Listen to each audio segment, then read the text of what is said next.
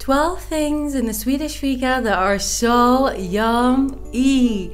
Today is number 3 and we're having kanelbullar or as known in English cinnamon buns.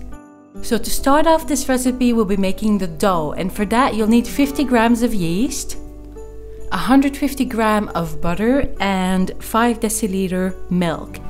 The first step would be to melt your butter and then add your milk on top of it and swirl it around.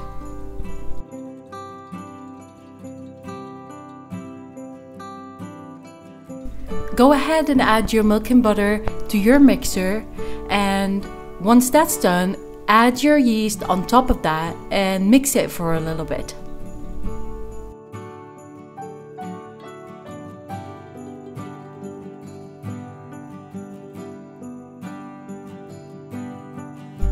Now you'll need to prepare 14 deciliter flour, 2 teaspoon cardamom, 1 deciliter sugar, and 1 teaspoon salt. One ingredient at a time, add your flour, your sugar, your cardamom, and your salt. As usual, I'll be using sea salt. You know, I would probably say that the cinnamon bun is one of the mostly wide known Swedish fikas.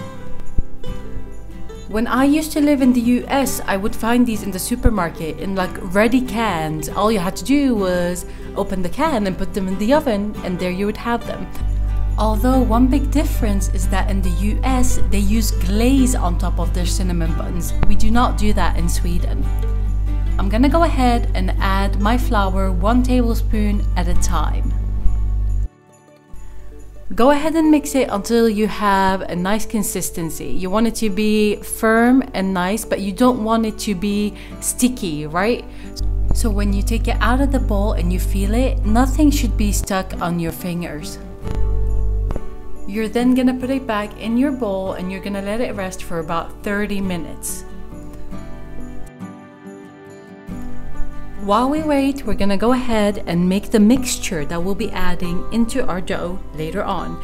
You'll be needing 250 grams of butter, one and a half deciliter sugar, two tablespoons cinnamon, and two tablespoons vanilla sugar. And then you're gonna go ahead and mix that, mix it real, real nice until it's smooth and gooey and yummy.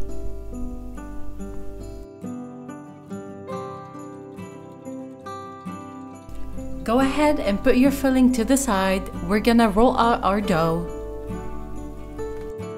Don't forget to put some flour on your workplace so it doesn't get sticky. Put your dough and then go ahead and start rolling it. Ultimately here, you're going for the shape of a rectangle. It doesn't have to be exactly a rectangle, but something like that because we'll be fo folding it later. Go ahead and put your filling on your dough and then spread it all over.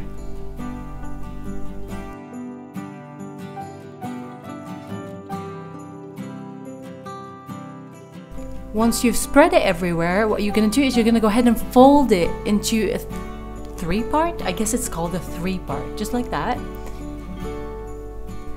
Don't worry if it looks like that at the top, you can go ahead and play with the dough so it covers it all.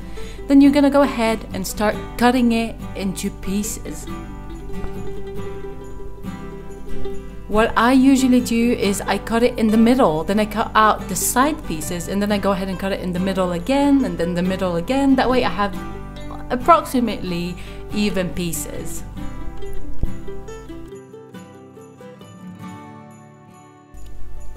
Once you're done with the cutting, what you're gonna do is you're gonna take one piece and kind of like drag it out a bit so it becomes a bit longer and then you're gonna go ahead and roll it around your fingers so it becomes kind of like a knot almost.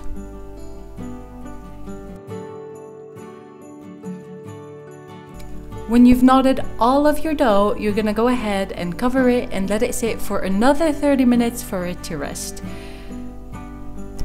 30 minutes later, you can go ahead and open it up, go ahead and brush it with an egg. And then we have something here in Sweden called pearl sugar. It's like these little sugar pearls that you can just put on top of your baked goods and it's so, so good. Next step would be to put your tray into the oven that's preheated to 225 degrees for about 8 to 10 minutes. Keep an eye on it so it doesn't burn because you don't want it to burn, but you do want it to be this golden, yummy brown. Thank you so much for watching. I appreciate you. If you want to, go ahead and follow so you don't miss the next Swedish fika. Love you!